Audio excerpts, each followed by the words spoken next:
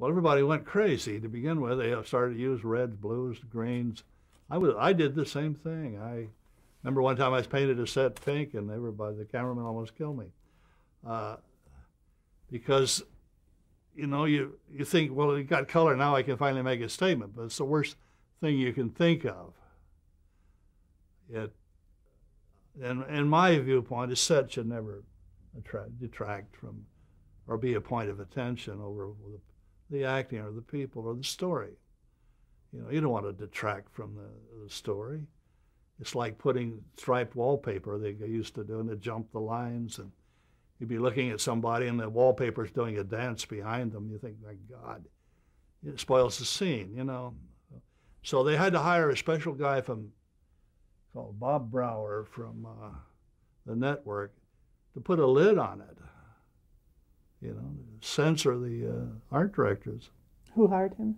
The, the studio or the network, mm-hmm. because they were going crazy. And uh, you know, he solidified it.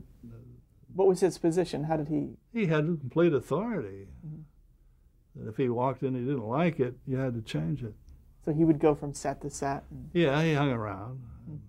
How long did that last? Well, it lasted about a year, I think, probably before they got it, you know, where they standardized it. Do you remember anything he said to you about something you had He was done? a good buddy of mine. I, I used him as a friend. And he was very helpful in color selections. And, you know, he'd take color upholstery and, and uh, swatches. And, and also, you need costume swatches. So you don't want to have the costumes blend in with the net where the background. And, uh, you know, you had to know the colors of costumes and things. I'm talking about a more sophisticated situation, but essentially it all has to be coordinated, and you can make some terrible mistakes if you're not, you know, conscious of who's doing what and how they're doing it. So more in color than in black and white, did you have to start being concerned about costume? Black and white was fairly simple because they used to have. Fact, in fact, most of the early sets were just painted in black and white. They had uh, like one, two, three, and four on the value value of the color, which means the shade of it. And if you had a color, you knew its value. You know, it's a two or three. It's what it would be in black and white, although it was in color you really have to know the value of it.